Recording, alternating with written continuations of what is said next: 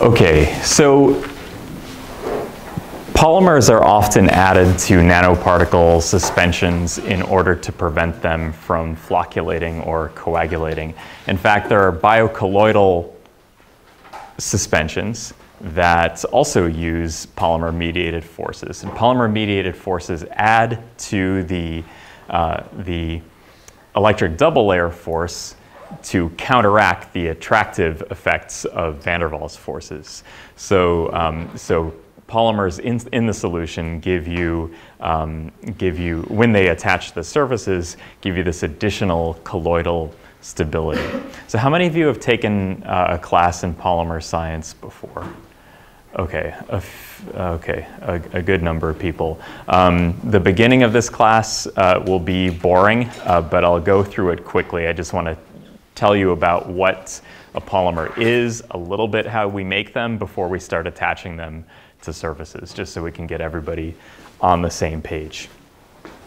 Now, as, as different as the origin of polymer-mediated forces are from uh, electric double layer forces, they actually operate in a similar way. So we have these polymer chains that are that flop around, and as you get two surfaces closer to each other, the entropic freedom of the polymer chains becomes reduced uh, because of this constriction in, in volume, and therefore the, the surfaces get pushed uh, farther apart due to this entropic effect. It's actually very similar to the, this halo of counterions that we had in the electric double layer force that when compressed also causes the, uh, also causes the, uh, a, a, repulsive force between surfaces as they're brought closer uh, together.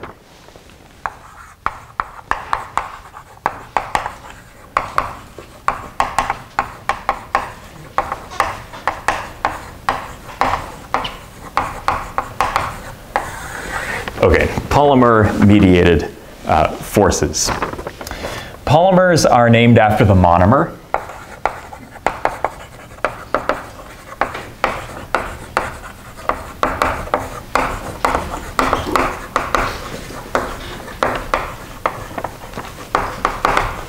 regardless of the polymerization technique. So we usually draw the repeat unit of, say, polyethylene like this with an, with an N here, which indicates the uh, degree of polymerization, the number of times this thing repeats.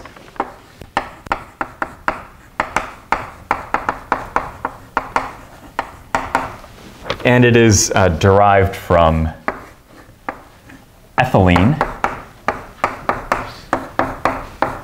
And you can envision this as one of these bonds forms a bond with the next unit, with the next unit, with the next unit, like dominoes. And another uh, famous polymer that we have, this is polyethylene oxide.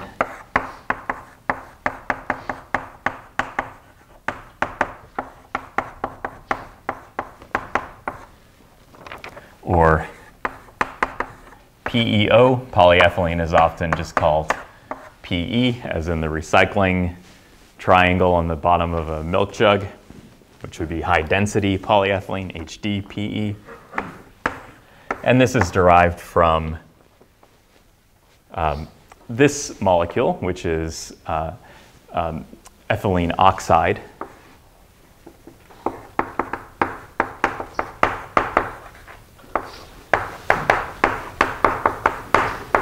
which is the simplest uh, epoxy functional group. Polyethylene oxide is not considered an epoxy polymer, um, but this functional group, this three-membered ring with an oxy uh, oxygen atom is called an epoxide. Okay, how about polymers in nanoengineering?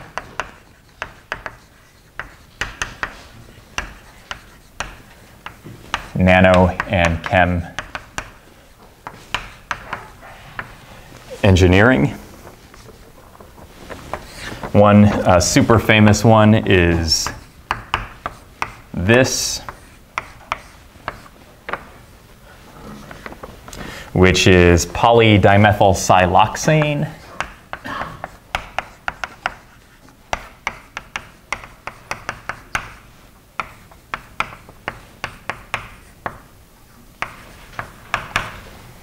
or PDMS. Is also known as silicone rubber.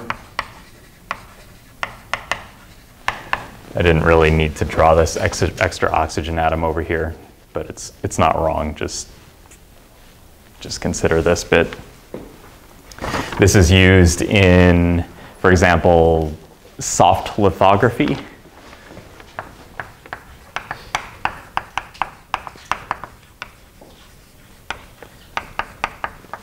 Um, bioelectronics.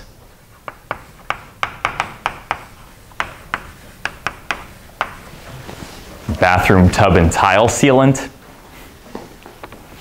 Silicone rubber used for, uh, for lots of stuff. How about this one, the only other example I'm going to show? This is polymethyl methacrylate.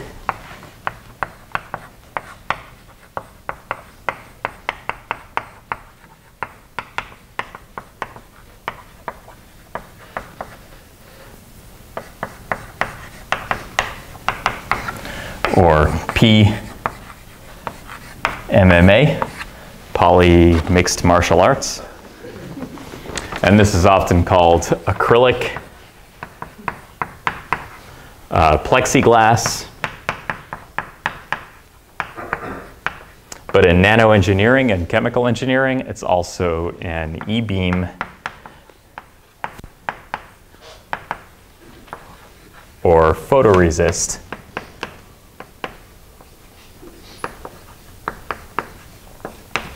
An e-beam resist and a, or a photoresist are thin films of polymers that allow you to pattern structures on a silicon wafer. So PMMA and various formulations are used in the semiconductor manufacturing industry. What you do is you shine light through a mask through the PMMA film or other photoresist film, and where you expose it, it becomes soluble. Then you wash out the solubilized areas, and then you do um, you do ion implantation or, uh, or metal deposition into the holes in the photoresist or e-beam resist film. Um, so e-beam, uh, its use as an, so e-beam, uh, an, an e-beam process is a slow serial process, but it's the way you generate nanoscale information for the first time. So you make a mask using e-beam lithography. Then you take that mask and then you go to, uh, to the uh, photoresist stepper or the photolithography stepper. You shine light through it and project the image onto a, to a wafer. So this takes maybe a day to make a mask, but these you can make many hundreds or thousands per day. Okay, the sizes of these polymers are determined by the molecular weight. Now, unlike a small molecule, a polymer can exist in a range of molecular weights, and you can characterize it in a few different ways.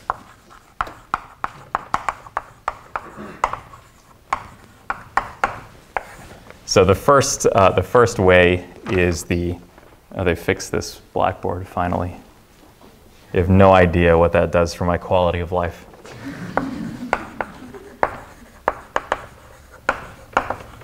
The number average, this is the conventional uh, conventional average. No, I spoke too soon. So the, uh, the number average molecular weight is the conventional average. So you just take all the molecules, you add up uh, all the weight, then you divide by the number of molecules in the system. It's like the average weight of, um, of sacks of flour in a box.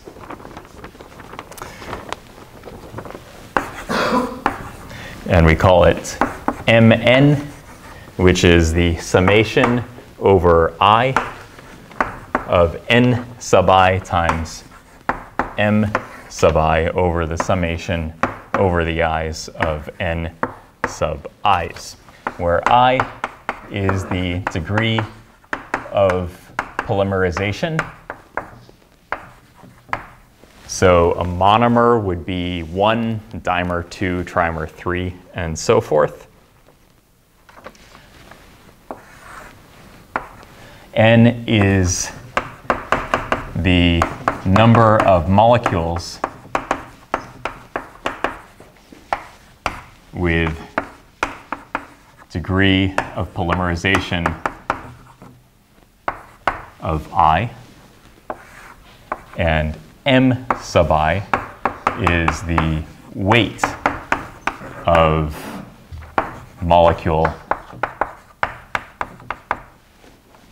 the weight of one molecule with degree of polymerization I.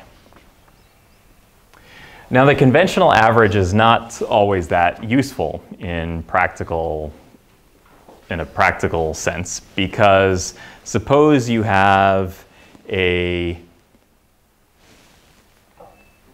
molecule with a molecular weight of a million and then you have a bunch of molecules with a molecular weight of 10.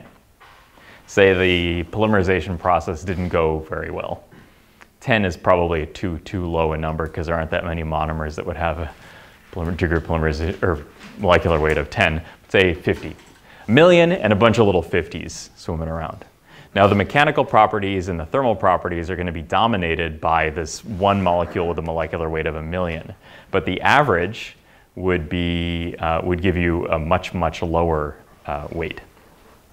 The conventional average of a bunch of 50s and the, the million would bring the average molecular weight down to something very small if you use the conventional average. But you can use a weight average, which reflects the, uh, the weight of the largest, uh, the, the, the fractions, the polymer molecules which make up the largest uh, weight of the material, the largest absolute weight of the material. And the way you calculate this is MW.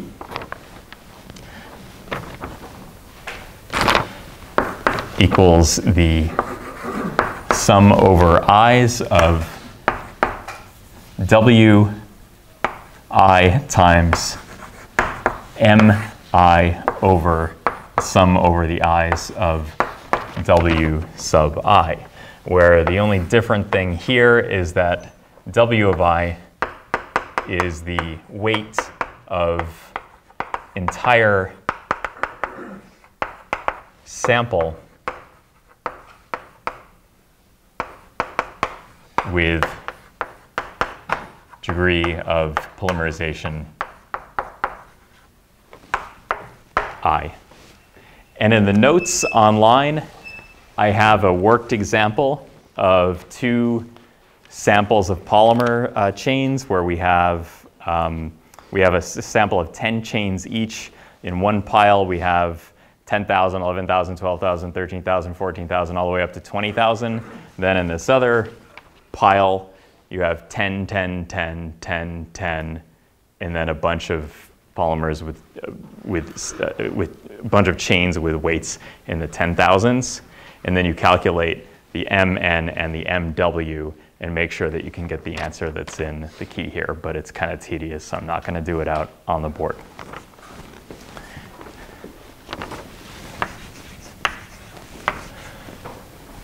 If you play around with the definitions, uh, MW is always going to be greater than MN, which gives us, and if we divide MW by Mn, we get some quantity that's greater than 1, and this is called the polydispersity index.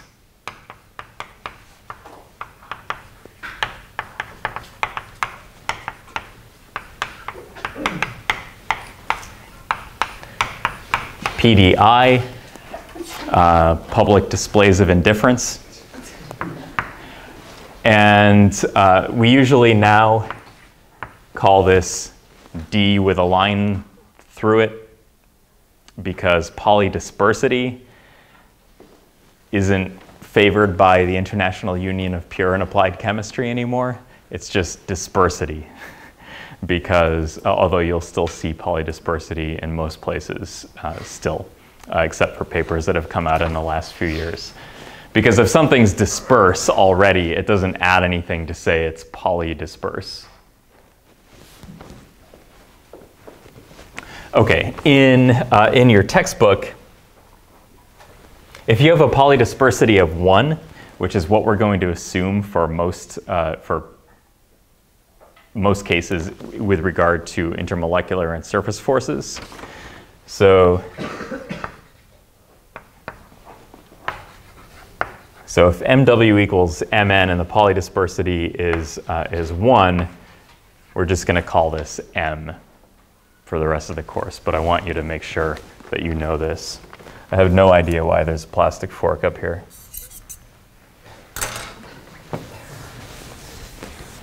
There it is.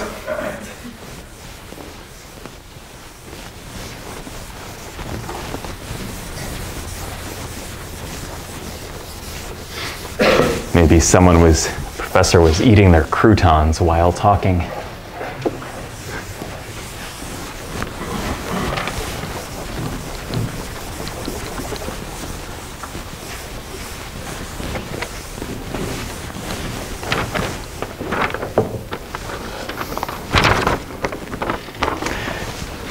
Yeah.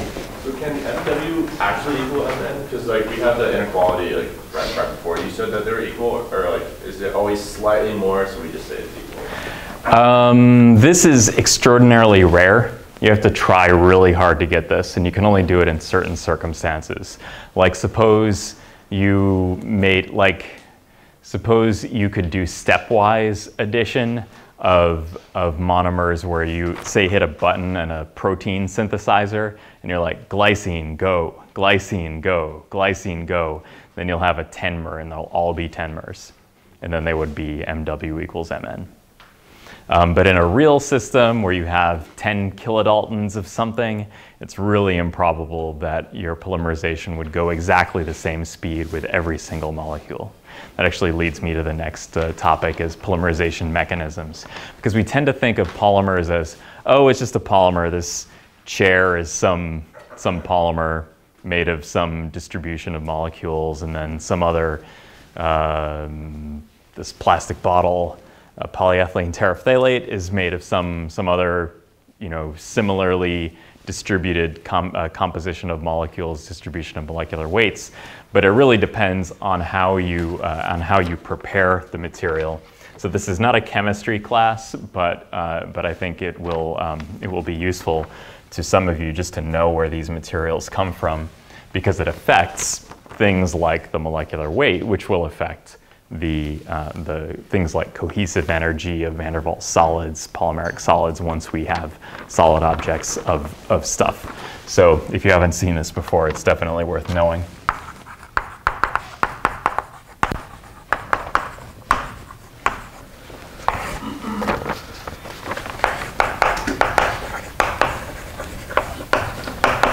So we have step growth uh, polymerization. Sometimes these are called uh, polycondensations.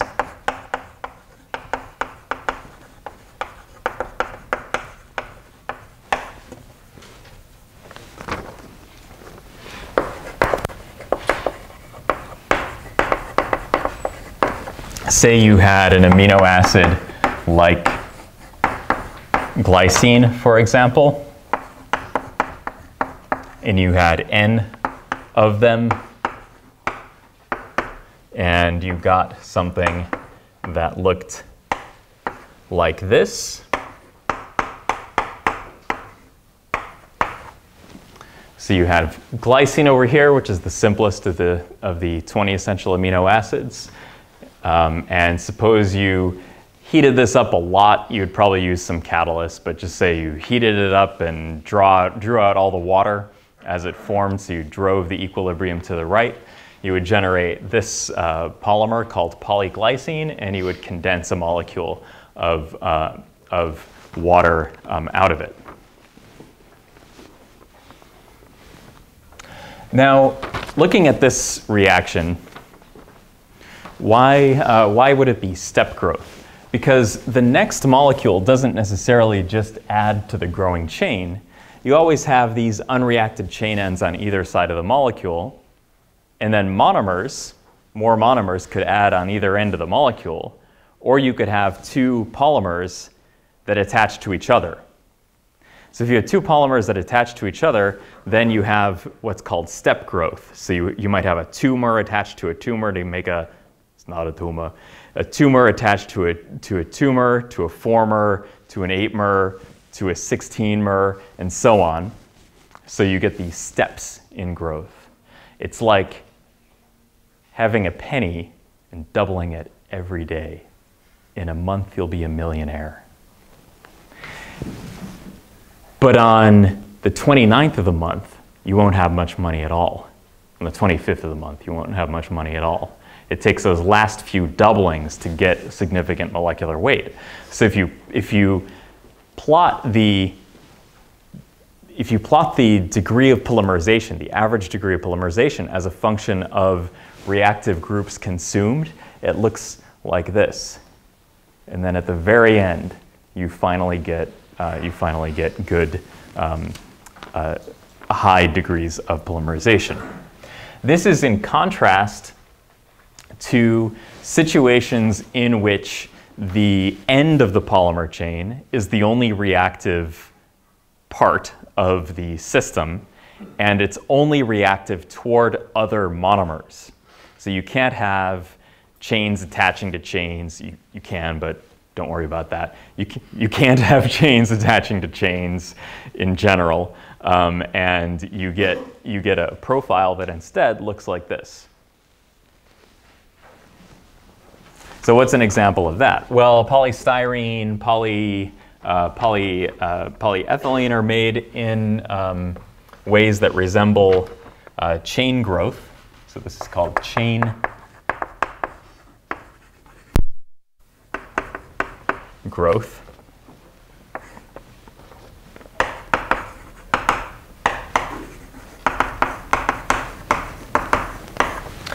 This, uh, this bit with the, with the profile that looks like this, forget I said that for now, uh, because that's only true if all the chains start and grow at the same rate, which is not guaranteed.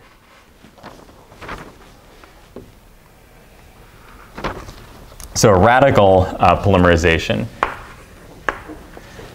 a radical is an unpaired electron.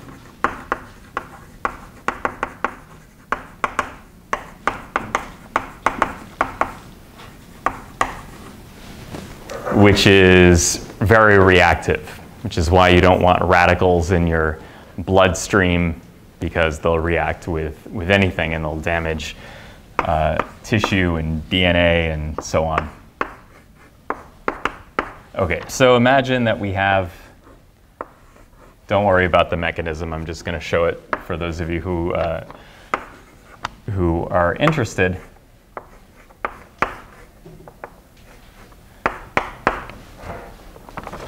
So what we have is this, um, this initiation step. Then we have a propagation step because if we have an unpaired electron, um, we, uh, we get formation of a new bond here. Unpaired electrons like these double bonds, so you get a new bond here. Then the unpaired electron needs somewhere to go, so it goes to the end of the chain, and then it reacts with another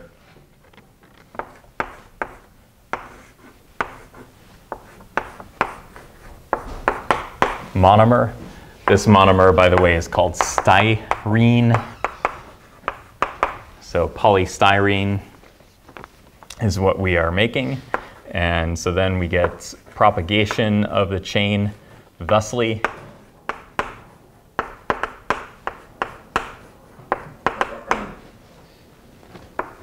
Finally, to generate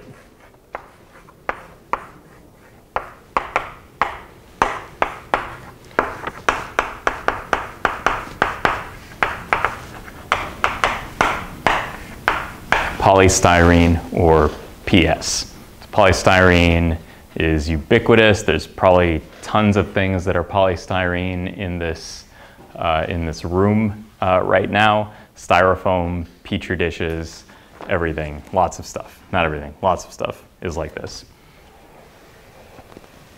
Now, if the radical polymerization is just allowed to proceed at its own rate, uh, you have, you'll have little bits of the reaction mixture where the, poly, the polystyrene will polymerize here, like pop, and then it will all polymerize, then, then that whole chain will polymerize, then maybe somewhere else in the flask or the reactor will polymerize, then somewhere else it'll polymerize. And as a result, as a result if you take a uh, if you take a snapshot of the reaction at any time before all the monomers are consumed, you'll have fully formed chains and unreacted monomers. That's the only thing you'll have in the mixture. Now, the other way of doing this is a controlled radical uh, polymerization, which allows you to start all of the chain growths at the same time. And this is a really active area of research to make, um, to make new uh, engineering plastics and materials for, uh, for biological integration. This is called controlled, and also for the microelectronics industry, uh, controlled radical uh, polymerization, and this is called CRP. CRP is not the only way to do a controlled uh, chain growth polymerization. There are also anionic methods of doing this. Uh, and, and, if you're interested in this topic, you can take my class Nano Seng 134 in the spring, and I'll go through this uh, in much more detail. Um, so we call this a controlled radical polymerization, and it's uh, living. So what does it mean? What do we mean by a living? A living polymerization is one in which the, uh, the polymer chain doesn't get, uh, is, is still alive. It's still alive, and, and if, it, if the reaction stops and you add, because you're out of monomers and you add more monomers in, the polymer chains will continue to grow. So it's alive. And how do we do that?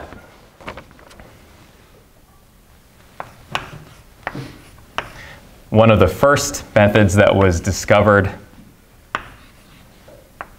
was to take this species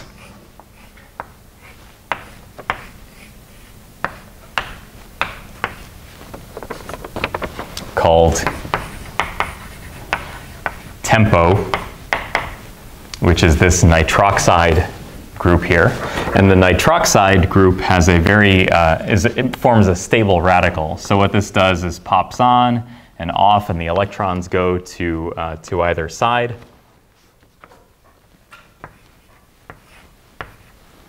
with some kinetic rate constant of K dissociation and K association. The K association, it's more often in the associated state than in the dissociated state.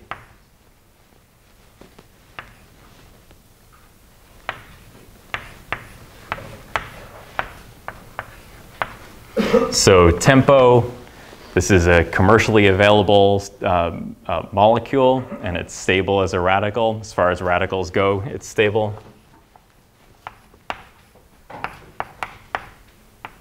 And then you get the, uh, the styrene um, radical, which, to which you can add additional styrene monomers to give you polystyrene.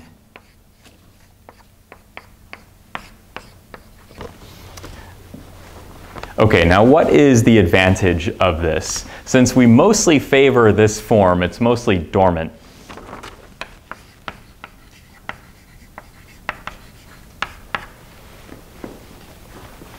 And this is the reactive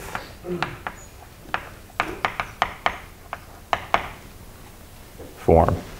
So we're mostly, most of the time we're in the dormant, the dormant form. Only sometimes we're in the reactive form. In the reactive form is the only time that we can add in other monomers. So if it's mostly dormant, occasionally reactive, we get a small handful of monomers at each time, uh, time period. Then what we're gonna have is all of the chains are pretty much gonna grow at the same time and at the same rate, which is what you want for a controlled process. Often you don't care and you just throw in the radical initiator, let it go, close your eyes, and then some amount of time later you have a vat full of the polymer that you want. But that doesn't give you the best control over, uh, over molecular weight and therefore physical properties. It's also impossible or very difficult to do things like attaching polymers to cells, to attaching polymers to surfaces, um, making drug delivery nanoparticles, that kind of thing. So that's why controlled radical polymerization is such a useful technique and why one of these days it will probably win the Nobel Prize, but it hasn't, uh, it hasn't yet. So, uh, so just as a, as a summary, if you plot generic molecular weight versus percent conversion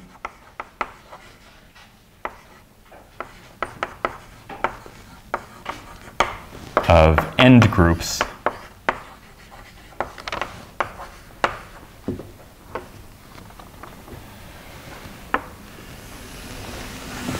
have something like this for step growth.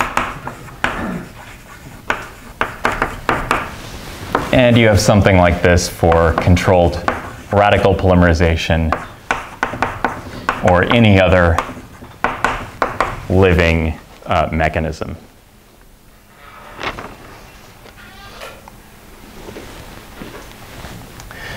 How are, uh, how are polymers how is the molecular weight uh, of a polymer determined?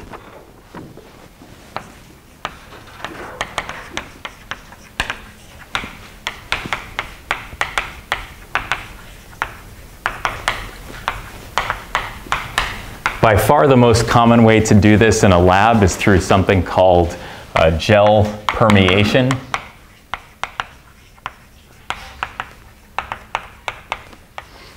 Or size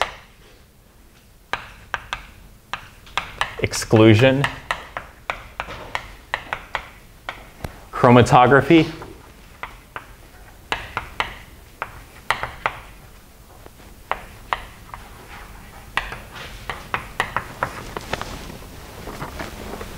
And basically what you have is some column that's full of some matrix. And the matrix has pores in it.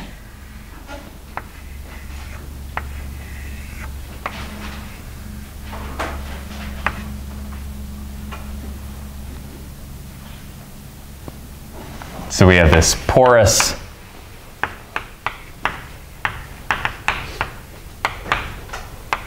matrix, which slows down, uh, it's, it, slow, it actually slows down the smaller particles.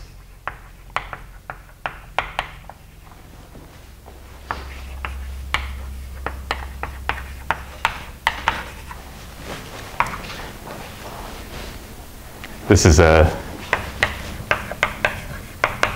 a bead. So it's a porous matrix. It slows down smaller particles. Uh, the larger particles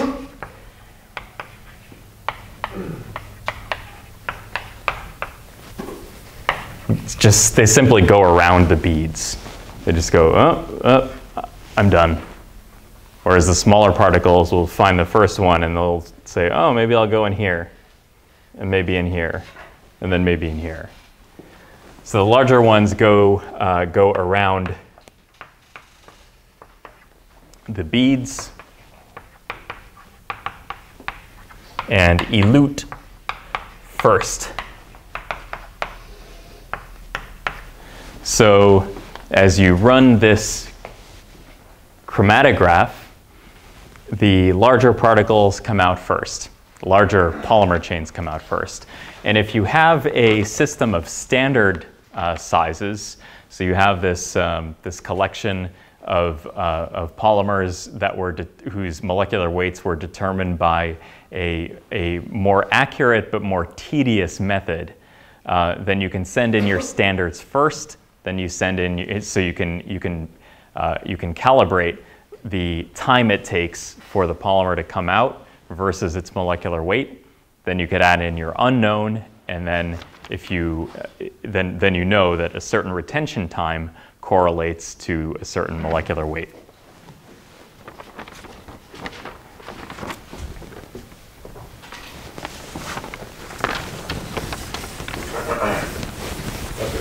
How big are these uh, channels or these filters? Um, on the order of a few nanometers to a few hundred nanometers. Wait, the, the whole tube or? Oh, the whole tube can be as big as you want. It could be a few millimeter, like a millimeter in diameter, um, or it could be, you could have like, so for, for example, for a, a GPC or SEC system that you have in the lab, usually the tube is like a, the stainless steel column on the outside and it's packed with some stationary matrix and the actual active diameter is on the millimeter scale because you don't usually use a whole ton of sample. Um, but for a, a, what's called a preparative GPC, a prep GPC, you might have a larger diameter. Uh, for an industrial process, you could have a much larger diameter than that. Um, it's very similar to column chromatography in uh, organic synthesis, for example, except the separation mechanism is totally different. Yeah. Pressurized or gravity? uh, typically pressurized and lots of atmospheres. Um, I don't know what the number is off the top of my head, but uh, many atmospheres. Okay, just a little bit more about the types of, um, of polymer nomenclature you'd likely encounter, and this is just a taste of this field, just to make you dangerous, just enough to make you dangerous.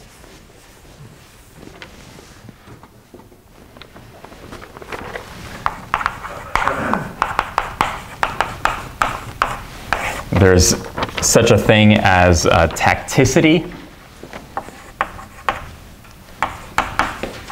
of, for example, polystyrene. Which is an example of something called a polyolefin.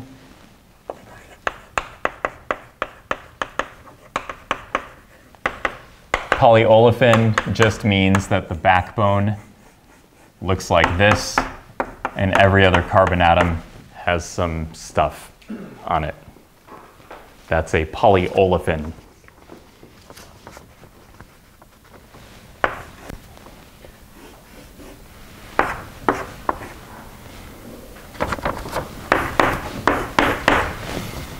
This is atactic. What have we drawn here? If we draw the polyolefin chain in the plane of the board, then these, what are called substituents, can either be pointing out of the plane of the board or into the plane of the board.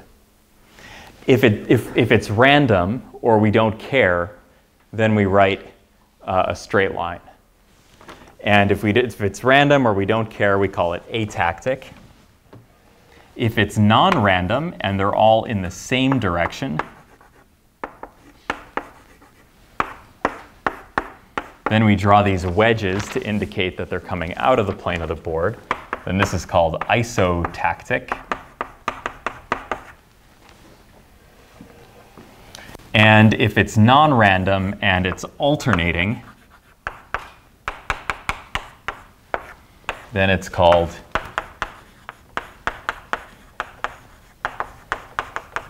syndiotactic. Atactic materials are always amorphous.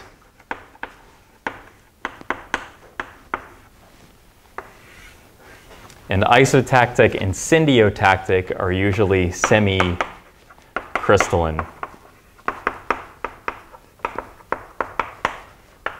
So to get crystalline behavior, you need to have order in the backbone, or you need to have order in the structure.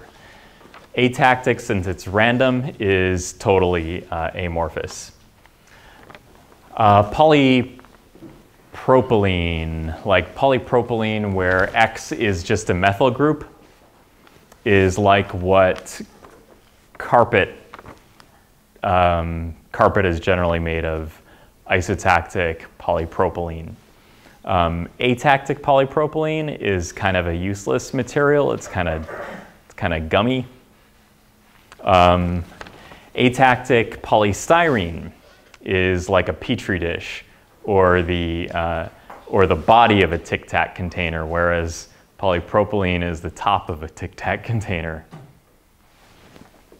Um, isotactic polystyrene is not used industrially.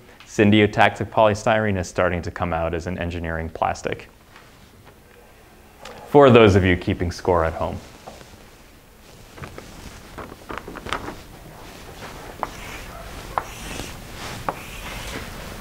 A solid sample of a polymer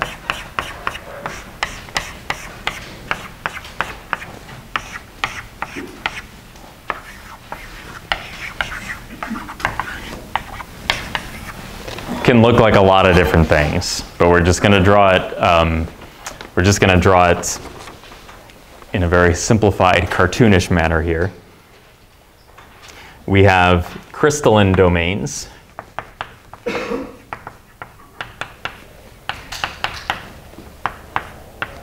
And crystalline domains are characterized by a melting temperature. So you add enough uh, heat and you get, a, uh, you get an endothermic signal in a calorimetry experiment that corresponds to, uh, to, the, to the crystallites melting. And then in between the crystallites, you have these regions where the polymer chains haven't quite lined up with each other. And these are the amorphous domains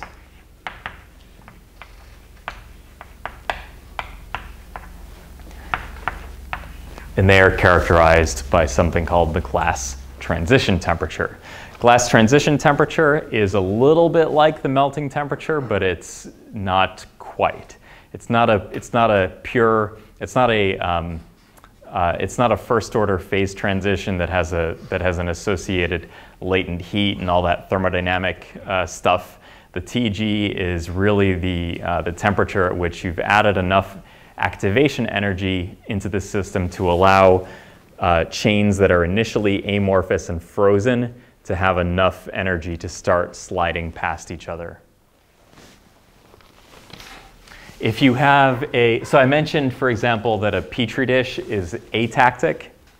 So if a petri dish is atactic, anyone ever put a petri dish into the oven at uh, like 105 degrees Celsius? And it melts. I mean, of course, you're not supposed to, so most people haven't, but, um, but, it, but it melts. It doesn't really melt. Really what you're doing is raising it above the TG. Because if it's atactic, it doesn't have any crystalline domains in it, and therefore there's no melting temperature, you just have the glass transition temperature, which is enough to turn it into this viscoelastic liquid.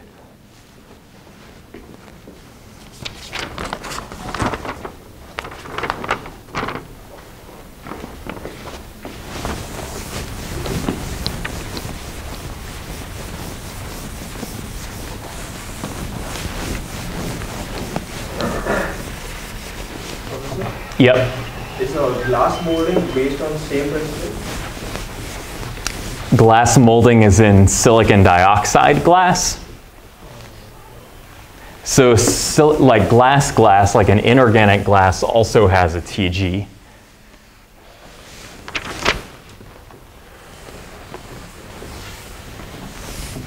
But polymer science is really the only area of material science, well, it's one of the areas of material science where we really care about the difference between TM and TG.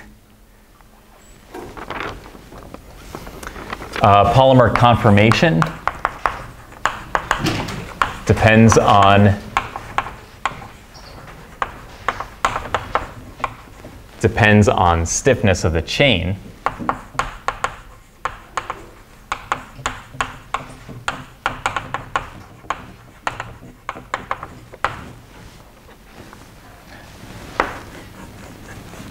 So this is flexible.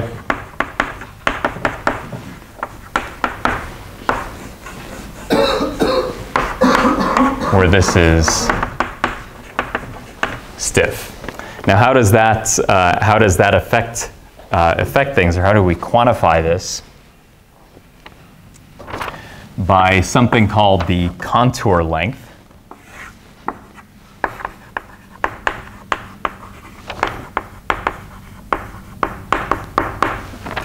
The contour length is just the length of the chain, regardless of how stiff it is.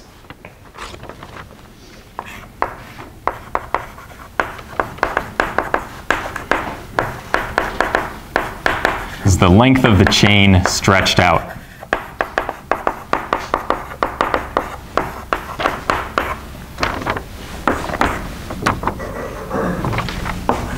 And n times L, where n is the degree of polymerization. I had called it I before in the summation because we're used to seeing I's in summa summations. If I called it I here, it would look like an imaginary number, which it is most certainly not. So for in the, in the book and, and for, uh, for these calculations, n will be the degree of polymerization, the number of links in the chain. And L is the length per, per unit. So degree of polymerization, like one is monomer, two dimer, three trimer, and so on.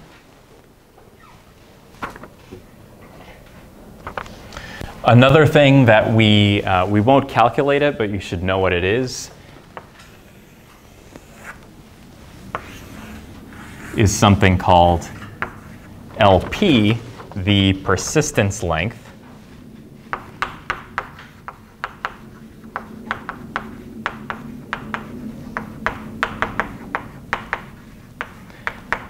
And the persistence, persistence length is the length at which correlation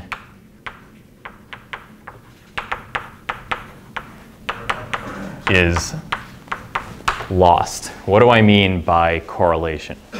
So a bond, a chemical bond can only really point in a few different directions. It generally can't fold completely back on itself, right? We never have polymer, uh, we never have bonds that are 180 uh, degrees, right? Bonds that are like this and fold over on themselves. So they have some, some restriction. Now, if you have enough, if you have one monomer attached to another monomer, you can say with some certainty that it'll still be pointed generally in the same direction as the first as the bond between the first monomer and the second, the next bond will be within some range of pointing in the same direction as the first. Now, if you add up enough of these, you might have a bond pointing in God knows what direction. Now, the length at which the, the nth bond is correlated to the length at which the, uh, the correlation between the nth bond and the first bond is lost is called the, is called the persistence length. So for example, um, a completely stiff polymer, the contour length and the persistence length will be the same. A polymer that was completely like a, like a chain that had, uh, that had completely free rotation your persistence length would be, uh, would be very short, uh, probably like one unit. Yeah. Is this related to the radius of gyration? Uh, that's the next topic. Yep. So in a freely jointed chain,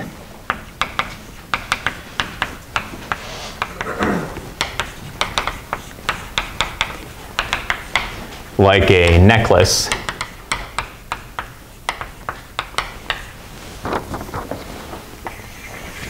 We have a random coil. This discussion, by the way, is in your book. So this is where we start, started in Israelachvili. So we have a random coil with a center of mass.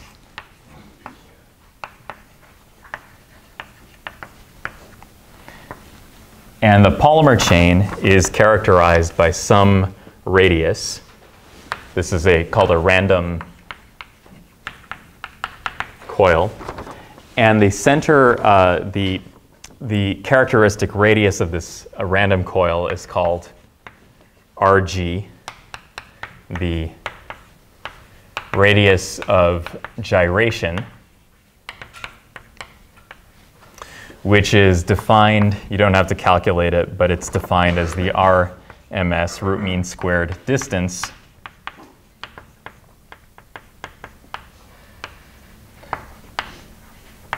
from the uh, from center of mass to each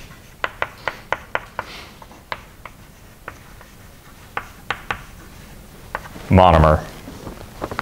So it's not from the center of mass all the way to the edge of the, the cloud.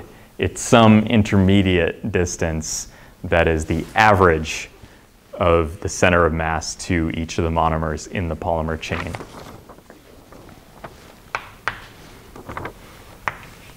And we get this by multiplying the length per unit times the square root of the degree of polymerization over square root of 6. And just to give you an idea, suppose you had So if n is um, the total weight divided by the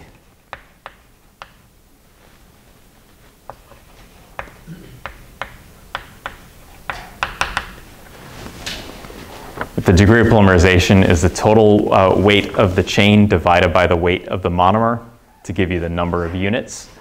And suppose some typical value was, uh, was a molecular weight of a million divided by a monomer molecular weight of 200. And suppose the length of each unit was one nanometer.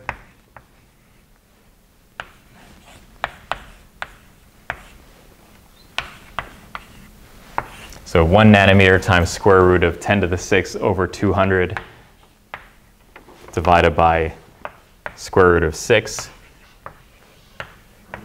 gives you 29 nanometers for a radius of gyration of a freely jointed chain. Now, polymers generally aren't free, freely jointed chains. Usually there is some restriction. There's always some restriction. So it's going to be a little bit bigger than that.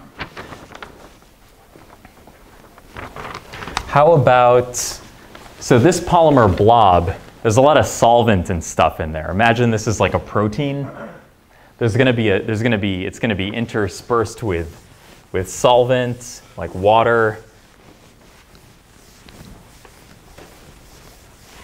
So the volume of the polymer chain is actually only a small fraction of the total volume.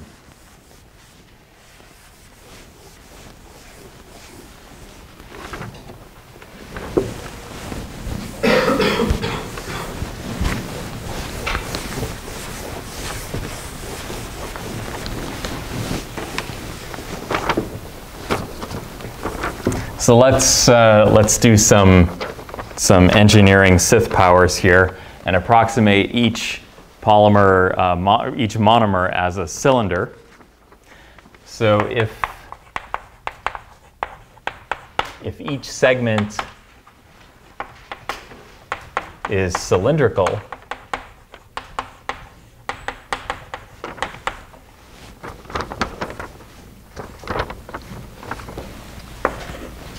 with diameter L.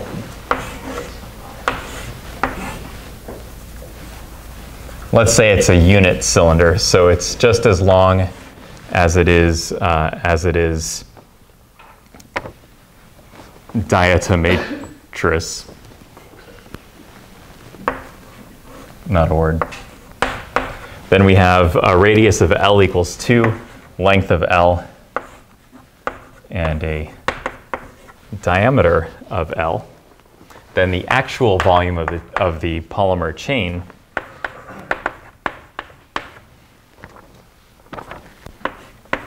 will be pi over L over 2 squared times L uh, n, which is just the volume of a cylinder times the number of cylinders,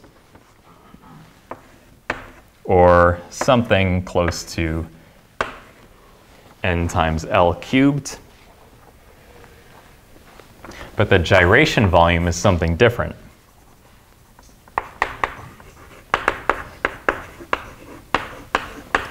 So if we take kind of this big volumetric footprint, this big space occupied by this blob, we get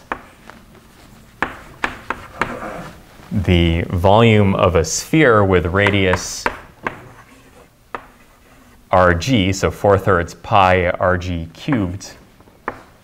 And this goes as 0.3 times L cubed n to the 3 halves. And the uh, take home from this is if n equals 1,000, so we have 1,000 mer, only 10%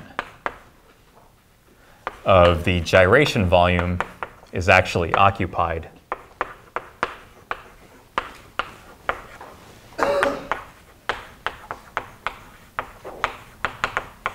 The rest is solvent. And the solvent, based on its intermolecular forces, ah, it took 58 minutes, but we got to intermolecular forces.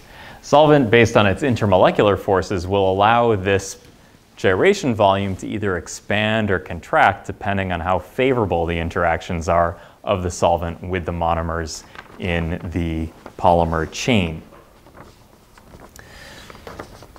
So this, this argument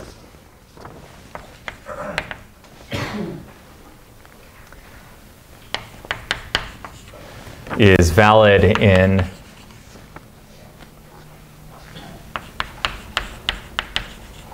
in an ideal solvent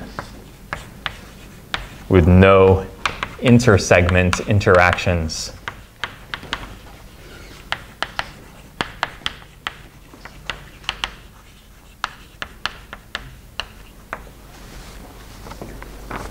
In a real solvent,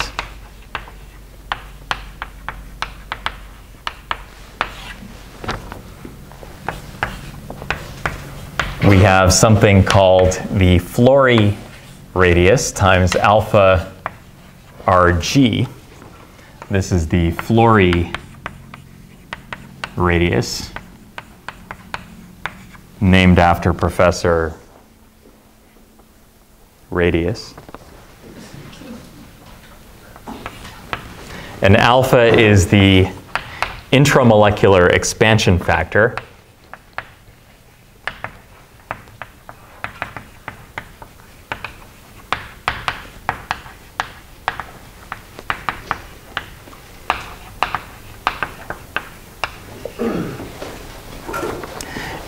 In what's called a good solvent,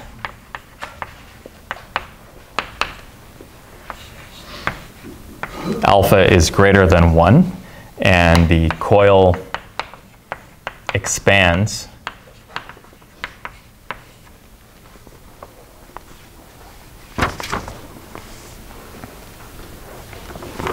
And in a poor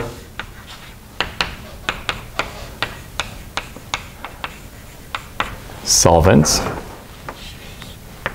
alpha is less than 1, the coil shrinks.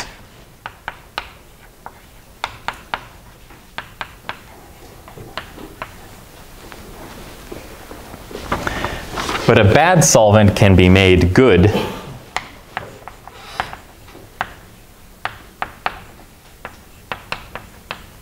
by increasing the temperature.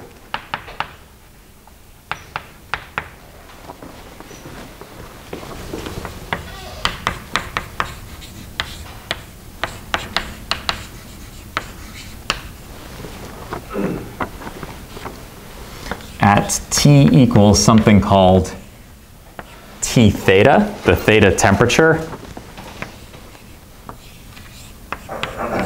alpha equals 1 and the Flory radius equals the gyration uh, radius.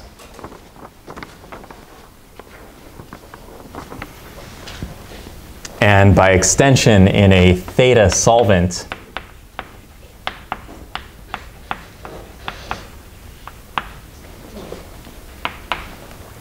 in a theta solvent, RF equals RG, so we can ignore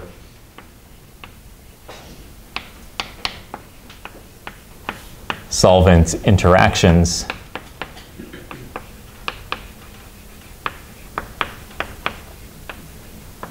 And it can be treated as invisible. The solvent can be treated as invisible to the polymer's, uh, the polymer's radius of gyration. Does it mean that it's actually invisible? No, it means that the push-pull between solvent solvent polymer interactions and polymer polymer interactions balances out so that on average you get a uh, you get a, a polymer uh, blob that uh, that behaves as though there was no solvent um, uh, no solvent present and no intermolecular interactions. Okay, so polymers adsorb to surfaces. and create repulsive forces between surfaces in contact. And we can bond polymer chains to surfaces in a few different ways.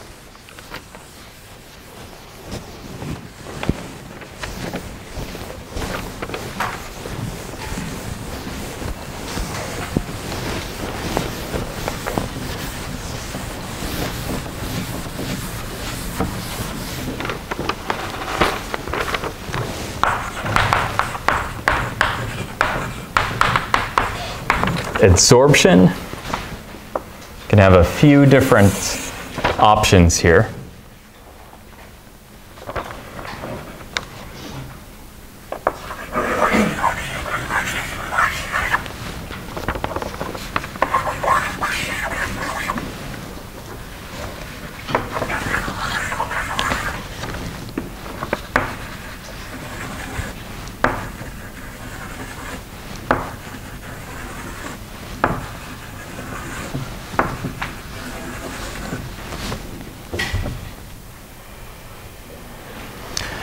Okay, so in the far left and the far right example, I've shown this dot here, which means chemisorption. It means there's an actual sharing of electrons, a covalent bond between the polymer and the surface.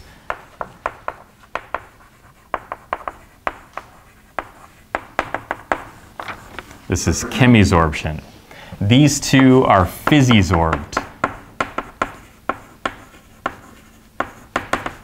Which means only by intermolecular forces are they bound to the surface. This one is also chemisorbed.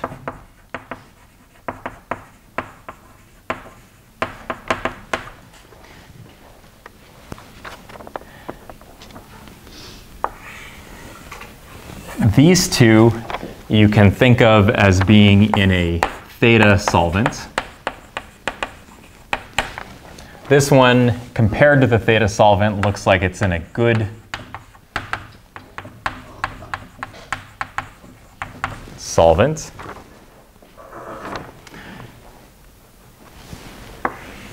This polymer, where the spacing between the polymers is much smaller than the length of the polymer, is called the brush regime.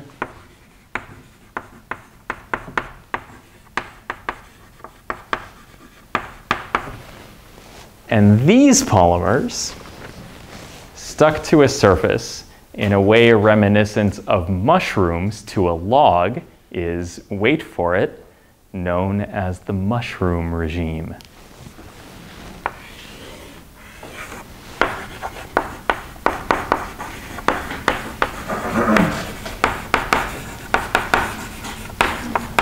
Mushroom regime, of course, ruled by King Koopa and the Koopa Troopas.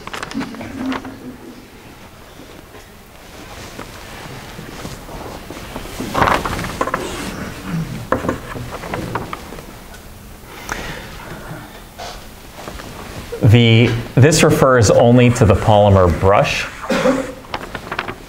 Think. Yeah, for the polymer brush, we have we have a thickness L.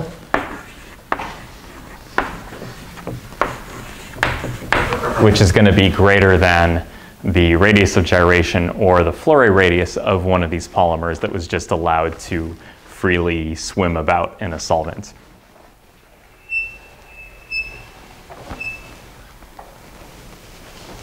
So these polymers are used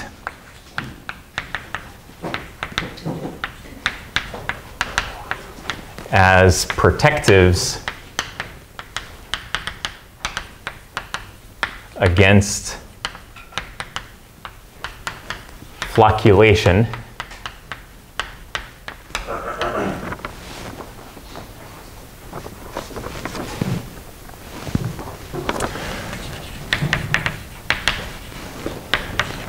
When D is less than, so D again, distance between two surfaces is less than a few RGs or R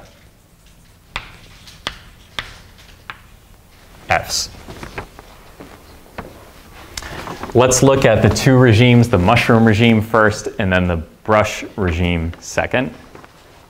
So in the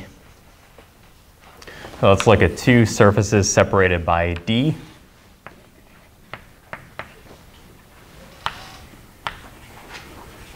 And we have these mushrooms.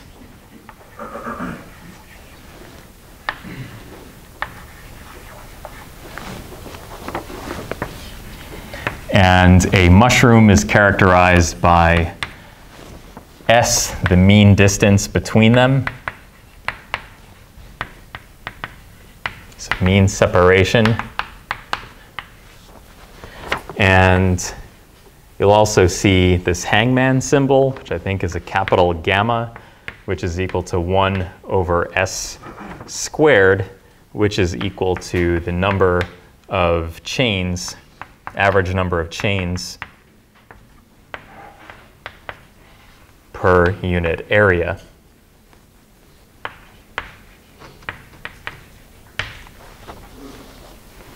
So this is the mushroom regime, low coverage.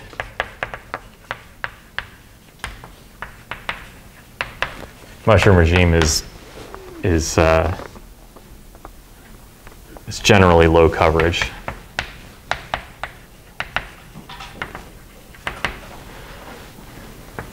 Where S is greater than the radius of gyration, and you get a repulsive pressure equal to 36 gamma kt over the radius of gyration times some exponential decay e to the minus d over rg, and this is in units of Newton per square meter.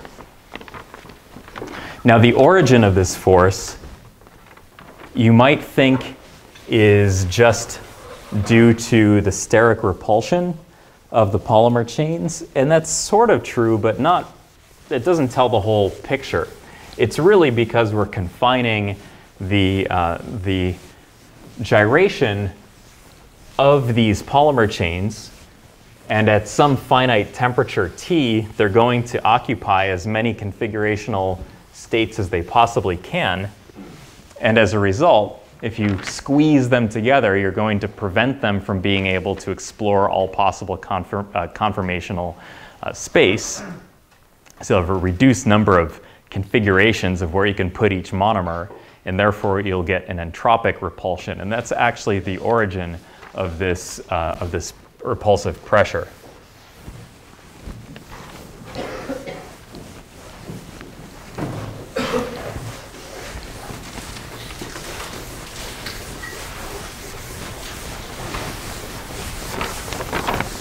one more thing and then I'll let you go.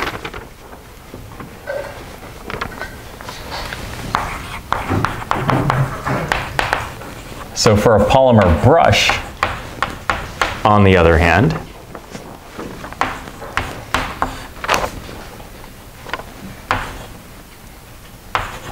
and this is valid for separation distances less than about uh, two times the length of the brush, you have a repulsive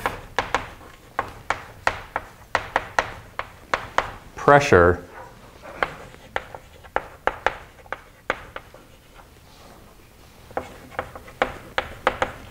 given by the Alexander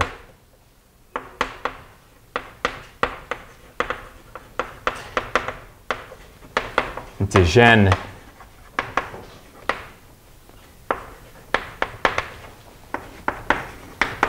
equation.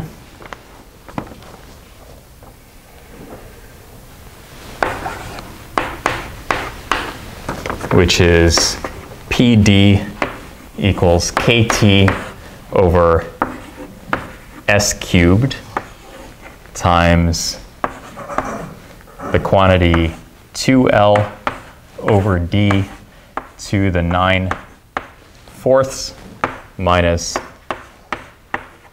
D over 2L to the 3 quarters, also in units of pressure or newtons uh, per square meter. The positive term represents, if you do the derivation, which we're not going to, and I've never done it, so you don't have to,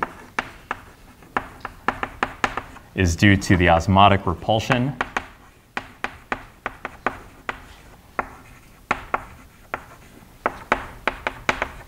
between coils, and this term is the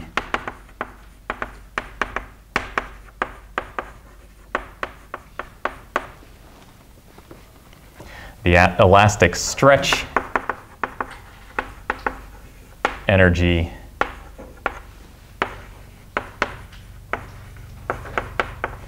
between chains, which favors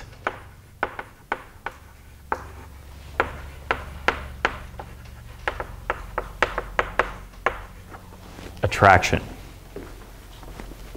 One other identity that's good to know uh, is that in a good solvent,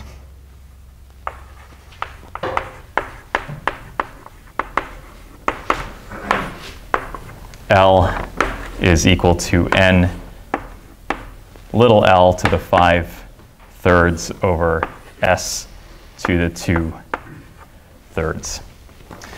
There is a problem on your, uh, on your homework that will allow you to work with the uh, to work with these equations. Really, I just want you to know where it comes from conceptually and how you might use it. Um, in the next few classes, we're really approaching the home stretch in, uh, in this class. In the next class, we're going to talk in a little bit more detail about surface tension, uh, capillary forces, something called the Laplace pressure, which determines the pressure on bubbles and droplets and why they assume they're uh, spheroidal uh, shapes in solution, capillary rise in trees, and wicking in paper and other, uh, other uh, surfaces that use surface tension. Um, we'll talk about friction and adhesion um, on Tuesday's lecture next week, uh, and a little bit on self-assembly, and then we have special topics. Uh, then we have the exam, then we have special topics until the final. So uh, thank you very much for your attention, and I'll see you on Thursday.